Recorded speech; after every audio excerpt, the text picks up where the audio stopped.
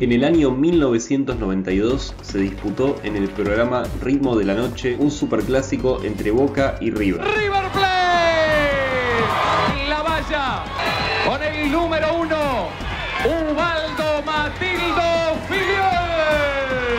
Con la casaca número dos, un campeón del mundo también, Alberto César Tarantini. Casaca número 8, Juan José López.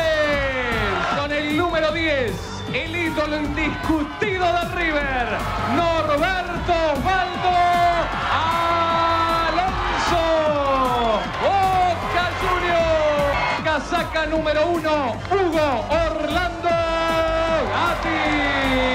Número 8, Carlos Daniel Tapia.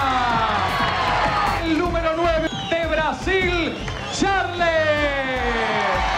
Y con el número 10, el más grande de todos los tiempos, Diego Armando Maradona. En este partido jugó por primera vez con la camiseta de Boca el futbolista brasileño Charles.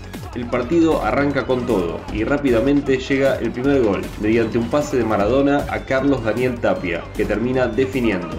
Se va Maradona, Maradona para Tapia, gol, gol, gol, gol, Instantes después, la jugada se repite, pero a la inversa. Esta vez es Tapia quien le da el pase a Maradona. Luego de una revoltosa pelea por la pelota entre Gatti y JJ López, Tarantini abre el marcador para arriba. Y gol, tiró Tarantini, gol. El empate llega enseguida, mandando Tarantini la pelota al arco de un cabezazo para ser empujada suavemente por JJ.